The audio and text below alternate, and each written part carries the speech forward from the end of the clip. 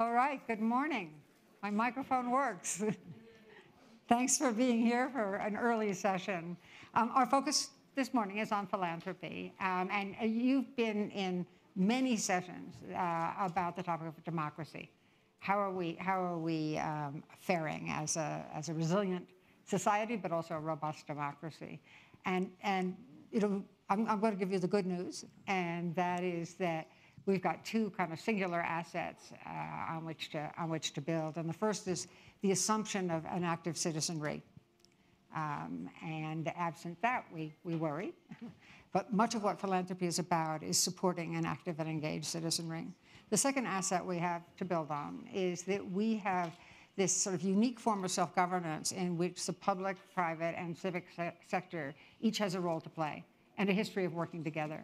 Uh, and again, philanthropy is often engaged in catalyzing partnerships across sectors. So to, this is the this is the cheering. This is the much more cheerful session uh, than others that you might have had. Um, I'm going to. My name's Jane Wales. I'm vice president of the Aspen Institute. My background is serving in gov government and also in in in, uh, in foundations. And uh, now I'm now I'm here at the Aspen Institute.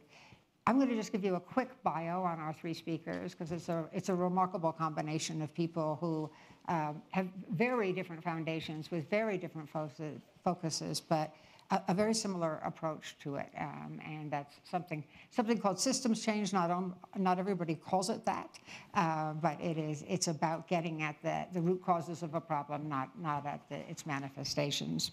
Um, you're going to hear from, from three of us, and we're just going to hop hop on down. One is Rodney Foxworth, and Rodney being the only male on the stage, you know which one's Rodney. Um, uh, he's CEO of something called Common Future, and Common Future matchmakes. Um, uh, let me just see if I've got this right, because I may be confusing it with something else, but um, it, it, engages in grant making, it engages in impact investing or equitable investing, and in public policy. Um, he also founded Invested Impact, and that's what I started to say, which is a nonprofit consulting firm that sort of connects um, philanthropic capital and impact investing capital to imaginative social entrepreneurs, particularly underrepresented from underrepresented communities. Um, what I love about about Rodney is that he is um, uh, that he starts and, and his organization and every organization he's been a part of starts with a compelling vision. It doesn't start with what we want to get rid of. It starts with what we aspire to, to build.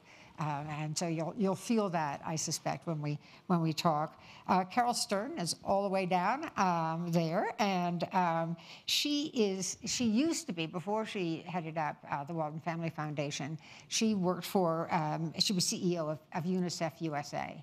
So as you can imagine, um, the, the, health and well-being of children, uh, top of mind for her, but she's also always been uh, a strong and powerful advocate of civil rights and of, of, of education um, that is inclusive. Um, the, under her leadership at, at Walton, um, I, have been particularly struck by the degree to which uh, she's focused on ensuring that, that all the grant making is informed by, by those they seek to serve. Um, so it's, we'll talk a little bit about something called proximate philanthropy. Um, I, I, would also say that when, when Caryl talks about inclusion, she defines it more broadly. So I'm going to let you answer that question rather than speak for you. Um, but, um, but it's one of the things I think is particularly special about, about Caryl. Jen, um, right, right beside me, uh, heads up the Bush Foundation. Um, and I will find the notes that, that remind me of everything she does. Um, but the Bush Foundation, I think one of the things that's really uh, interesting about it, I mean, it's, it's, it's, based in Minnesota. It's focused on the Dakotas and, and several Indian nations, Native nations. Um, and, and she's combined grant making with, um, with you'll hear about this, floating a social bond. So we're looking forward to that. Then finally, I'm going to just single out somebody in the audience um, Mark Kramer, uh, who founded FSG, which is a nonprofit consultant, consultancy, consults with foundations and businesses on how they can advance uh, social change. Uh, but there was an article he has been writing uh, about systems change for quite a while, along with a colleague, John Kania. So if we get it wrong, Mark, we're going to call on you to be, do the cleanup act, okay? So, but I, I want to start. I, I want to start with you, Jen, um, and get a sense of how you think about how you approach uh, system change yourself and your foundation. Well, I love to talk about that. I think um, you know systems change is happening all around us all the time, um, and um, foundations are changing the world and changing our lives around us, and we don't always see it.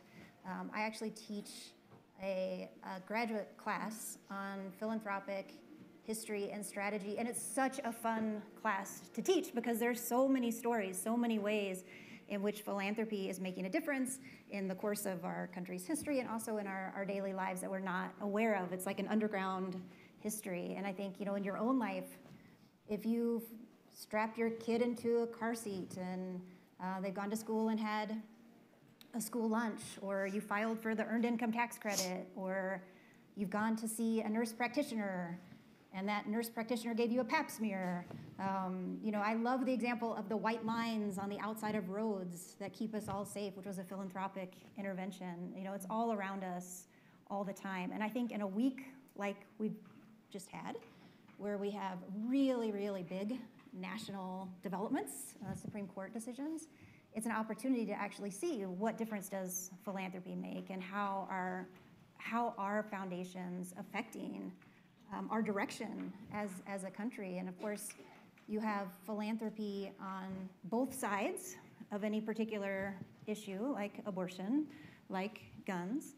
Um, but you also can see in the decisions this week the result of a very intentional, decades long, philanthropic driven effort to change our judicial system. Um, it's, it's philanthropy and systems change, you know, right before our eyes. And there are a lot of foundations that um, had an impact on that. But one that I think is a particularly interesting case study is the John Olin Foundation, um, which focused on lawyers and changing how lawyers think, how they think about the law, how they think about the world. And the Olin Foundation did a whole bunch of really interesting things. They had a lot of strategies. Um, but one of the most famous now things they've done was a grant back in 1982 to a student club that wanted to um, come together on three law school campuses. Um, it was a student club with faculty advisors with names like Bork and Scalia. Um, you know, Olin made that grant, and that's the Federalist Society, right? And now, uh, 40 years later, six ninths of the Supreme Court um, consider themselves part of the Federalist Society. Um, there's a lot to learn from that case study, I think, in how systems change happen, a lot from, to learn from other case studies. I mean, they were thinking big, they were thinking long term, they were flexible. Um, but the thing I'd love to really highlight, because it really reflects how I think about systems change, is the degree to which they focused on people. Right? Systems are people, they're not abstractions. Systems are the result of how the people in that system behave. So if you want to change a system, you have to change how people within that system act. You have to motivate them to think differently, support them to act differently, and that's how systems change happens. So you're, you're making me want to jump to Caryl. Yeah. Let me just say why. Um, you work on, on schools, on, on the charter movement, you work on climate change. Um, in, in, fact, everything you've worked on in your life has, um, ha, has required change on the international level, on the national level, but also on the individual level, how you act. So talk a little bit about, about sort of the depth. You know, it's an interesting thing because, you know, systems change is, for, in my mind, is synonymous, you know, with strategic philanthropy. It is understanding that change doesn't happen overnight, but at least I can speak for the Walton Family Foundation, it is long-term thinking, but the ability to iterate every year because in every moment, you know, we have a weekly program meeting and that we're actually talking about, okay, we're keeping the eye on the prize of where we want to end, but what's happening in the world around us that's going to impact how we're thinking about that so that we are iterative at all times. I think the big issue for us, though, is the system that we're most trying to change is kind of a redefinition of collaboration to get us to all the other things. You know, For many, many years, especially I believe in our sector, collaboration meant let's go out and find people with common ground, and then we'll come together and we'll work on the issue. We haven't gotten very far that way. So we really need to think about instead of common ground, you know, something Tim Shriver, and I'm stealing his word, calls common solutions. If we can keep our eye on where we want to land, we can sit at the table with people we don't agree with and figure out how we get there. And it's a challenge because you've got to get your listening skills up really well and your patience skills up really well. But I think those are two of the skills that have been really absent in our leadership development programs that all of us are supporting. And is really how do we sit at that table? How do we hear what the other side's saying? Frustration, because I can speak even from a personal level of friends who I've worked in civil rights with my entire career, in other areas and climate change and other things who say, well, if that person thinks that way, that's not somebody I want to have dinner with. That's not somebody I want to sit at the table with. That's not how you bring about change. We have to find ways to come back to the table. And that's at the heart of our um, strategic plan right now is that we are going to look around, we're going to listen, we're going to learn, and then we're going to help to lead. And that involves also developing fellowship skills, not just leadership skills, being able to say, I want to look, listen, learn before I lead. Rodney, your, your organization is, is all about listening and leading, um, but it's also about uh, something that is a, an attribute of systems change, and that is changing relationships, uh, and within that, changing power dynamics. Talk about how you approach that. Yeah, so thanks, thanks for the question, and um, I want to be I want to emphasize that we're not a foundation, right? So I'm a bit of an odd duck on this conversation. Um, we're a public charity, and we work a lot with foundations.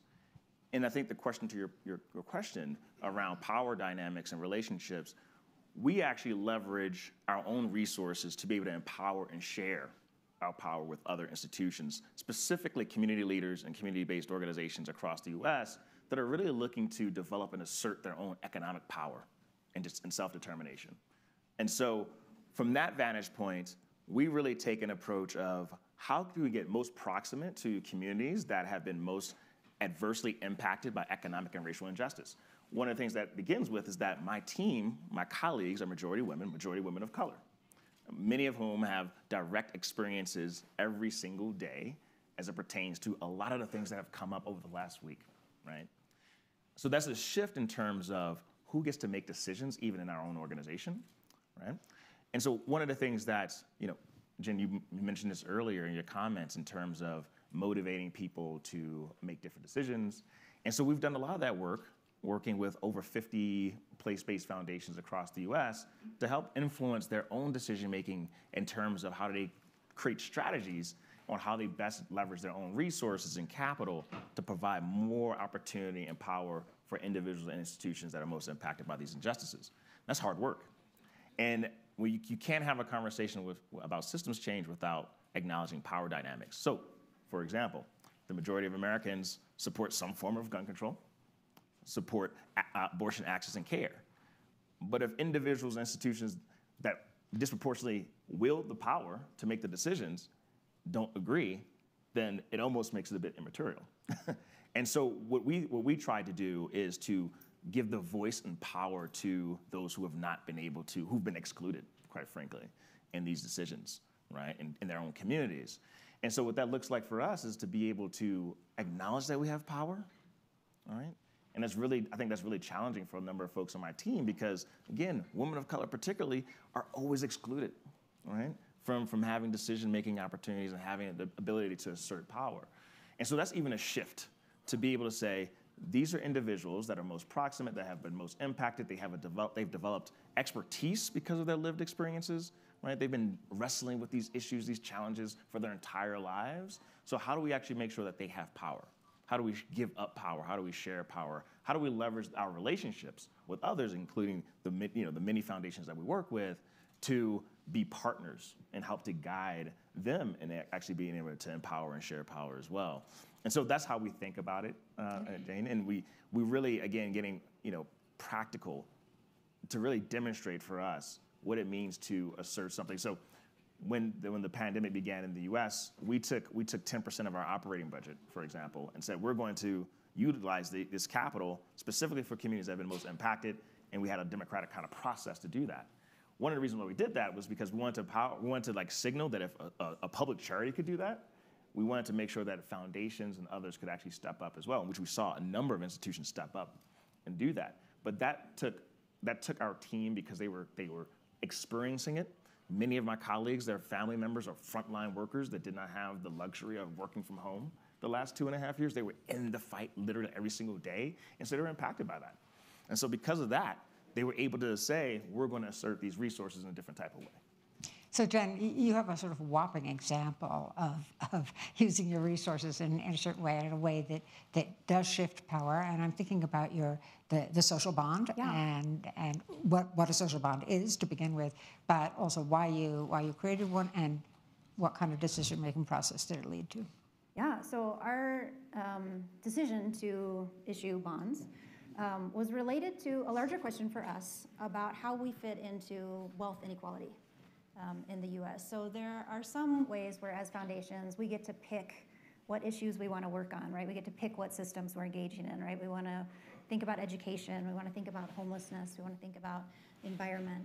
Um, and we don't get to choose, in my opinion, whether we are part of the conversation, part of the system related to wealth inequality in the US.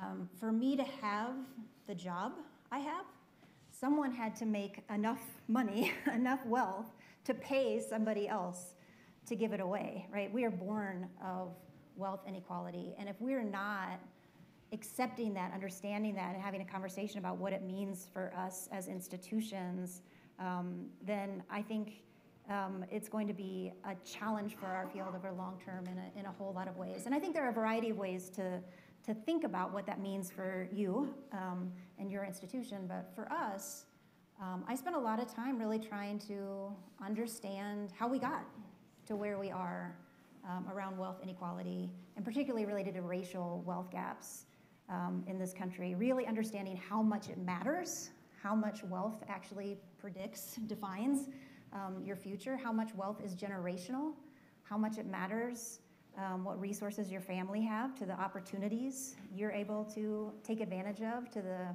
the hardships you're able to weather, and then really understanding the history.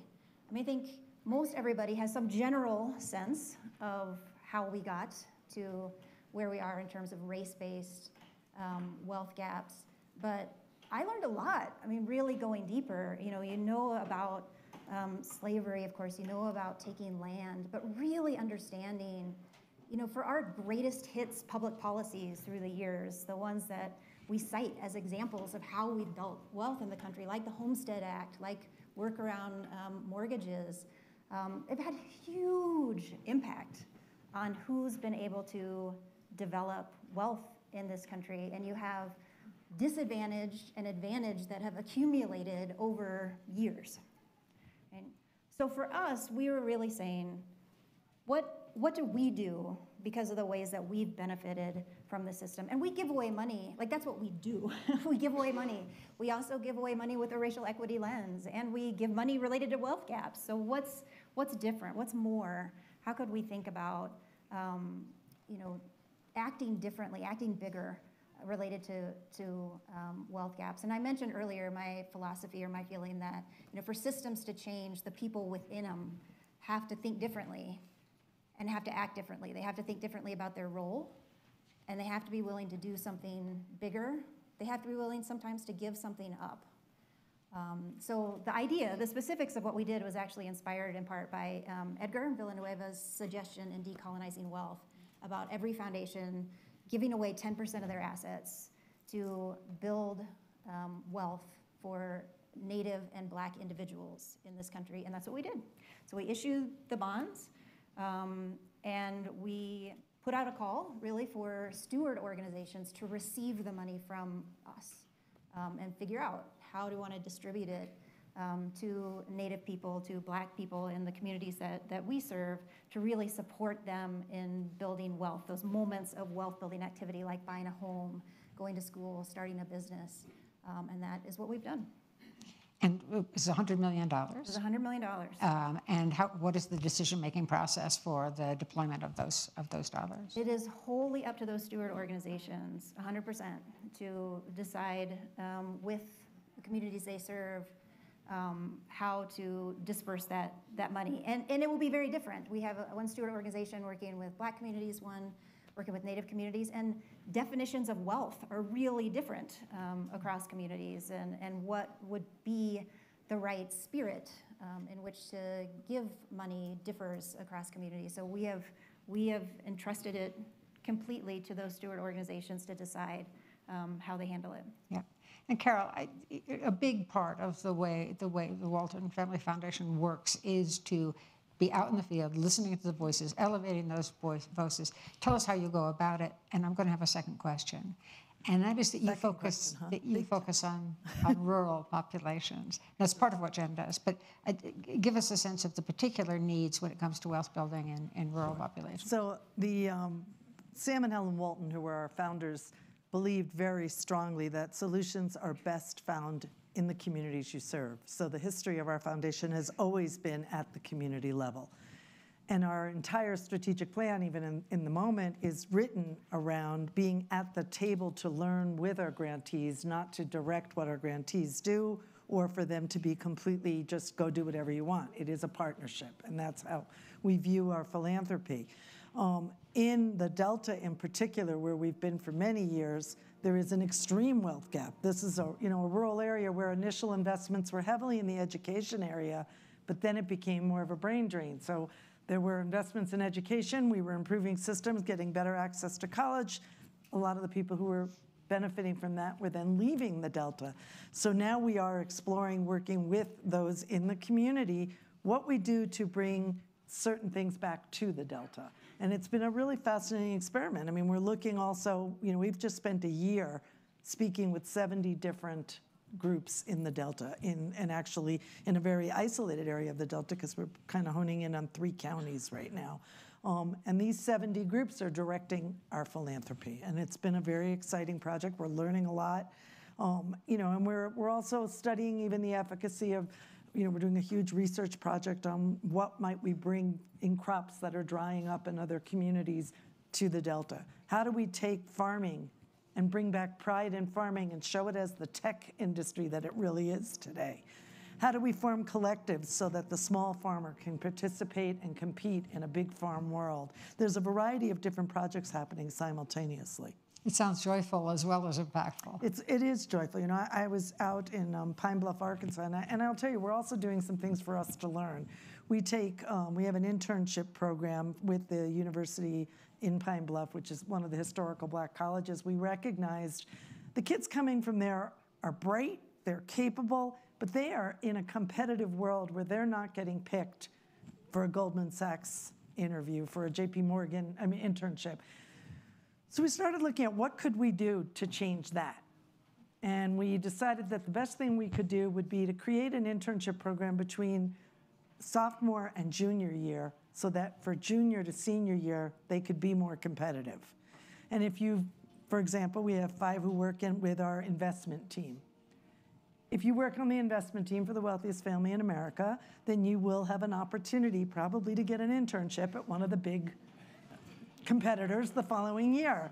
So we, we do set it up as an academic program. There is a professor who leads this entire program. There's learning. There are some of you in the room who are participating in that program.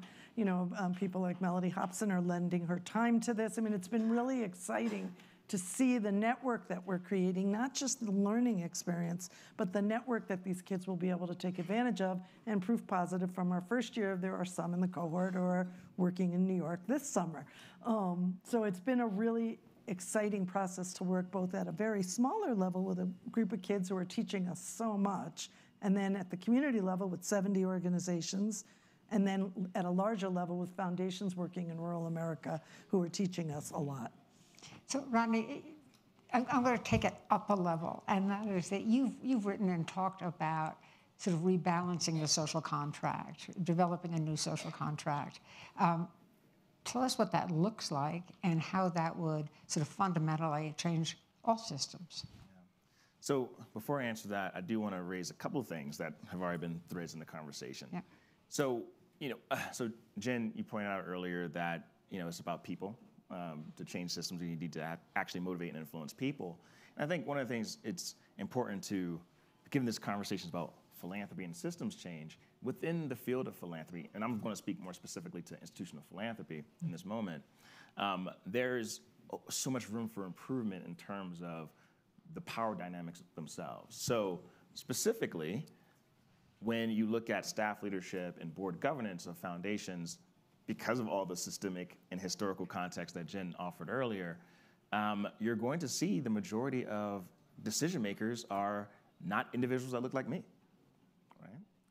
Um, that don't look like the, the leadership and staffing of the organizations that Bush Foundation allocated, you know, the steward organizations. Um, both of which I know and, and work with, and incredible organizations. And so the act of really sharing that type of resource, fully committing that and giving up the power to individuals and institutions that would likely never have an opportunity to actually wield that type of power in their, on behalf of their own communities, that is something that is a systems change within philanthropy um, that is, is quite necessary as well, right? And so I just wanted to name that because I think, you know, we, we can't have the conversation without the power dynamics within philanthropy itself, right? And what kind of decisions get made because of maybe a distance, um, a lack of understanding, um, of, or of lived experience as it pertains to some of these issues. And so, as it, as it, as it pertains to the, the, uh, a new social contract, this, this country is, is very much an idea, right? that is constantly, you know, the, the quote of the, the, the arc of the, uh, the moral universe uh, moves towards justice. That's only if we're actually actively engaged in moving the arc that direction. And we're seeing over the last week, and it's going to continue, um, what happens when there's regression, right? And so I think as we're moving towards being a country that is majority people of color, more diverse in terms of what we're assuming to be the status quo of what it means to be an American, right? Um, there's just really the opportunity for, for us to really assert the, um, decisions and power to communities that are already here, have been here before, right? I mean, you're talking about indigenous communities.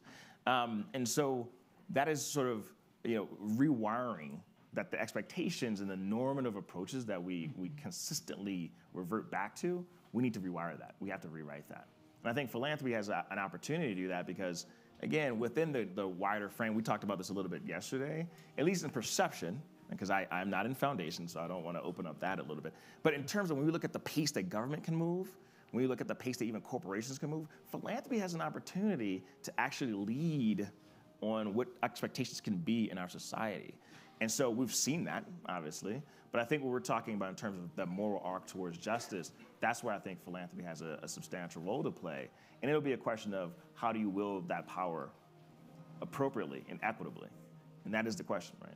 But I think we wield that power by being the conveners. That, you know, that the power that we bring, I think, to the table that is exceptional for, for the foundation world is that we can be the conveners. You know, I, I was kidding yesterday, you know, if we're funding you, you're going to show up at the table. So, you know, there's an opportunity to bring like-minded organizations together very easily, but there's also the opportunity to bring unlike together through that.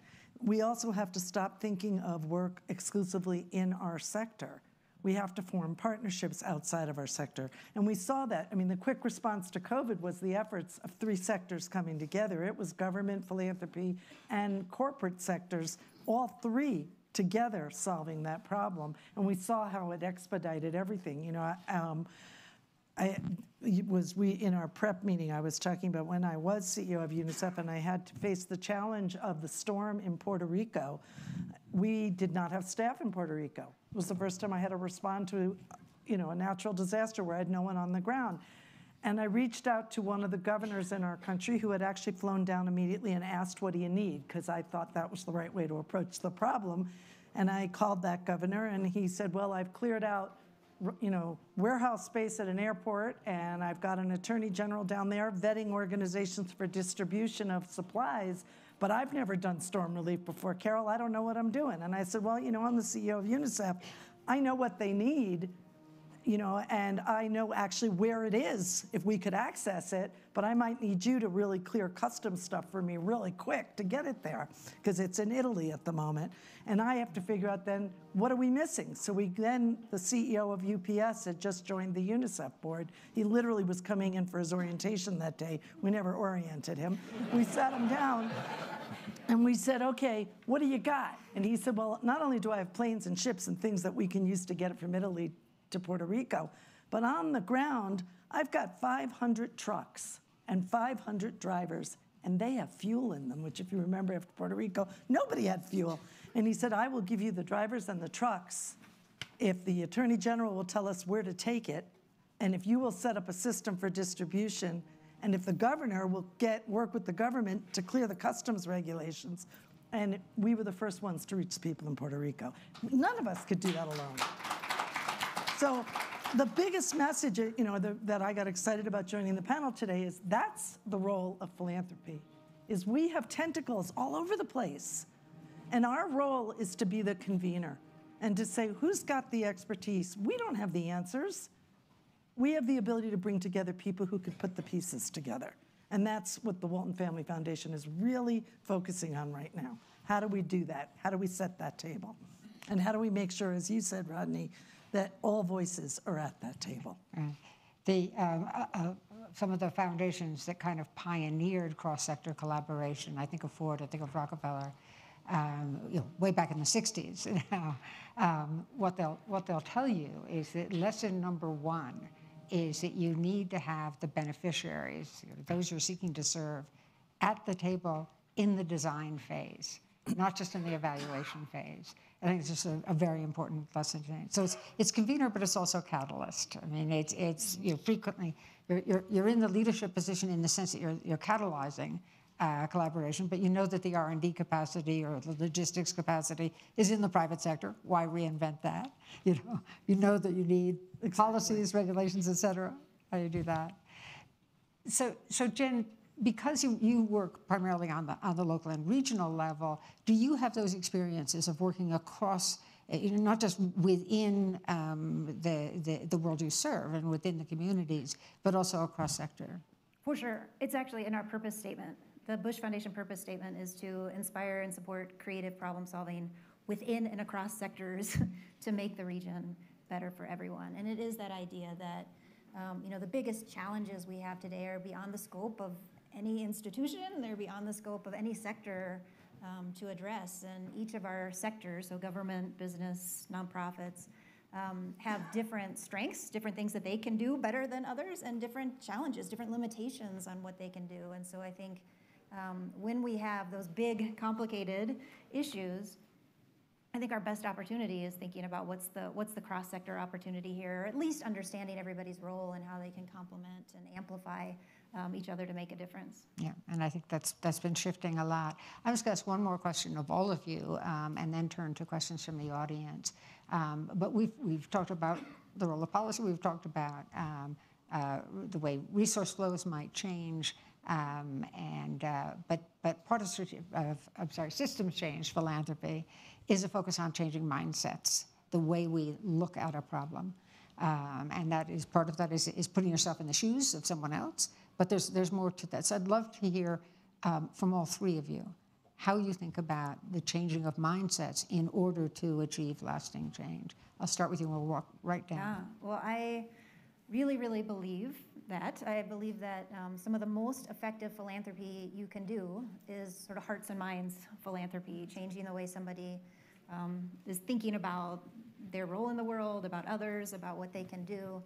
Um, I think um, there are a lot of ways to think about doing that, and those can be, you know, in really um, small interactions at a community level. That can be, you know, fundamentally rethinking the role of um, the federal government, and we see foundations doing, you know, the the full gamut. But my my own definition, actually, of really effective philanthropy is based on how much change happens beyond the thing that you bought with the grant, beyond what the money was used for for the grant.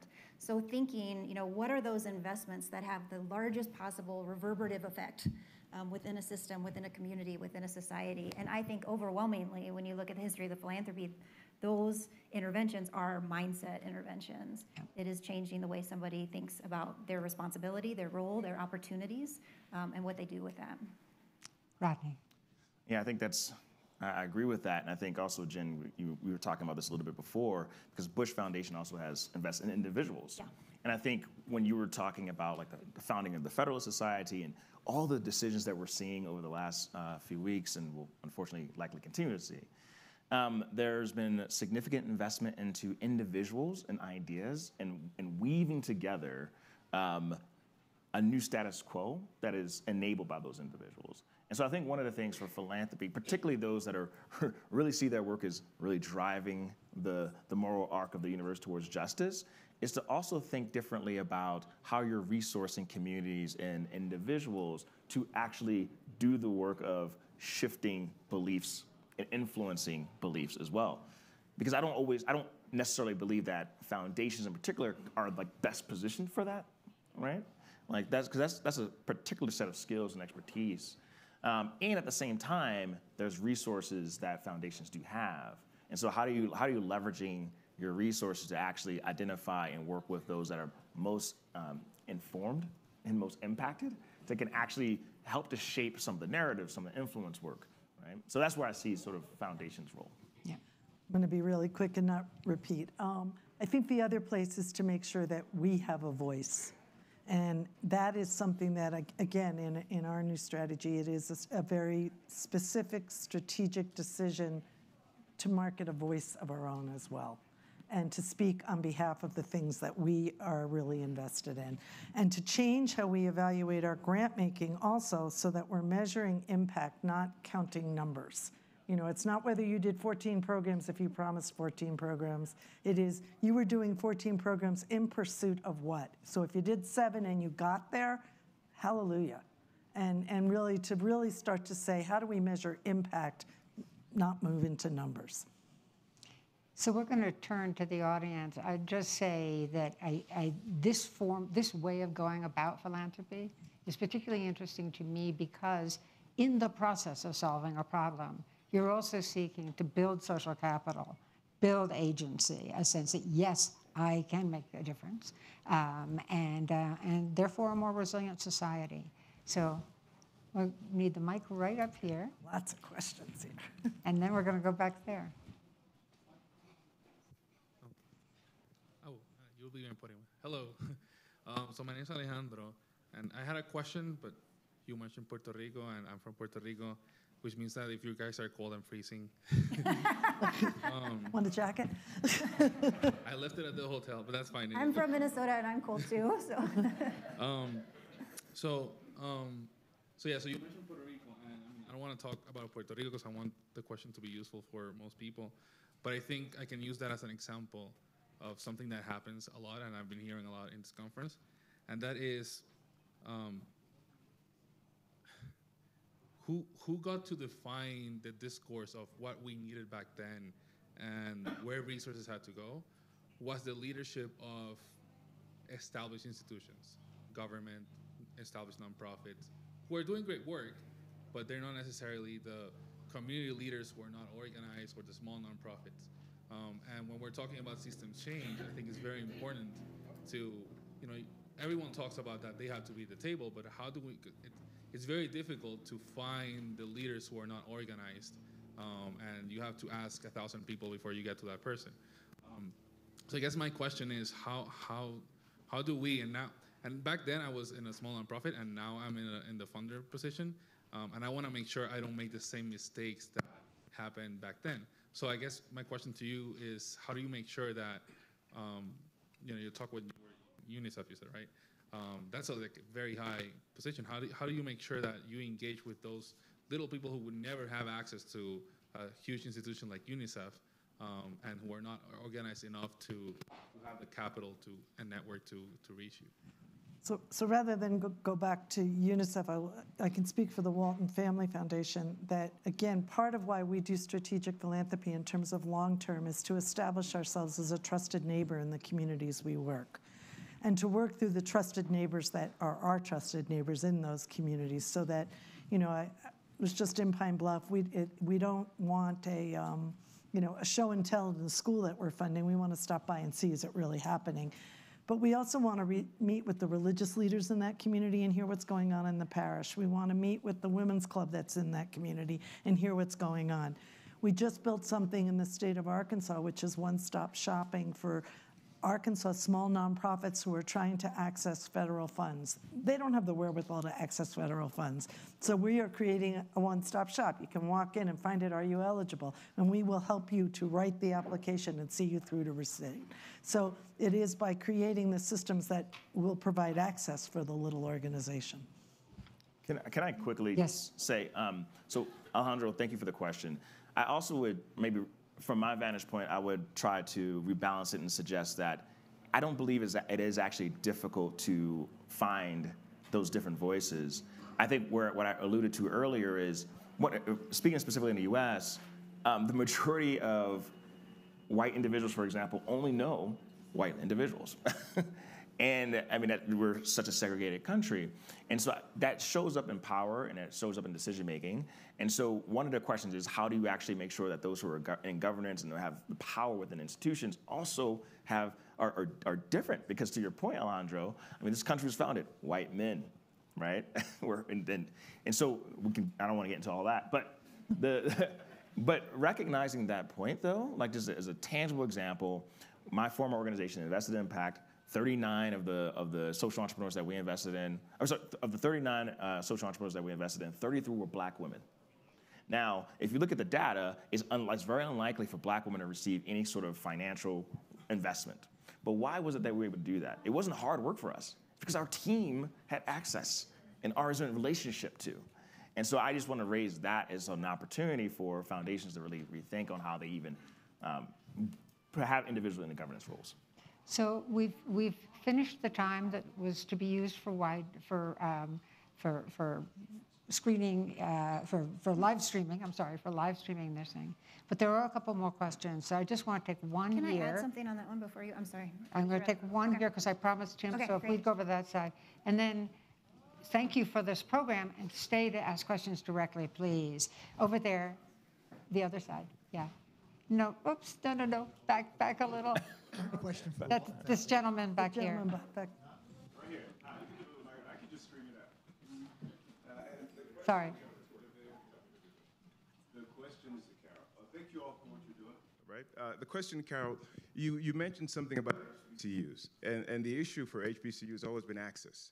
And you sound, you sort of uh, mentioned a program, but as an aside, where you use reputation and resources to create access, but you basically provided access for five. Why not leverage that on a much larger scale, since it seems to work? So I So, uh, totally Caryl- agree. Caryl, we're going to take one, this gentleman who stood up before, just take that question, and then you'll, then we'll answer both, and then we'll come to a close. and i'm happy to More, more for you. Um, You've been investing in charter schools for a long time. I'm just curious as to how that in- investing philosophy, excuse me, has evolved over the, over those experiences. Okay, Let me answer the first question. Totally agree with you. We'd love to take it to scale. We started the program a year ago as, as a pilot program. We've just done our proof positive on it, so we're in our second summer, and our goal is to expand the program. So we do hope to take it to scale, and I'd be happy to talk to you about it. Um, to the charter school, we definitely hold true to the belief that all children learn differently that what is good for one child may not be the right environment for another child, that education is an immediate need, that it's a right, not a privilege. So all of that holds for us. And we believe that every mom, dad, aunt, uncle, whatever, whoever the child's caretaker is, should have access to, to choose the school that's most appropriate and have that not be just for the affluent. So what we've learned through the work that we've done is obviously some schools have succeeded better than others. Some communities more receptive to the idea and the concept, some unions more receptive to the idea and the concept. And uh, so we continue to look for the opportunity to create schools that are different options. So Jen, final word, and then folks can just uh, talk to, talk to folks on the, on the side, so. Well, those questions I think were so specific to Caryl. Or you want his final word in Yeah, general? yeah. Oh. Ah. Well, I will. Use the power wisely. Yeah, thank you. The power. Um, I would say, you know, it's sort of related to a question earlier that we say sometimes good ideas can come from everywhere. And I think a lot of people in philanthropy will say that, but I think how are we really organized in a way that shows we believe that and are working to make sure that we are finding and supporting ideas from everywhere? I think one is can people apply at all? Uh, but then are we really reaching out and making sure people have true access and, and ability to get the resources to do the work that they think is necessary in their communities? And that, that requires, you know, an, an openness, a belief, but it also requires structural changes in how we do our work in philanthropy. So thank you so much for being here.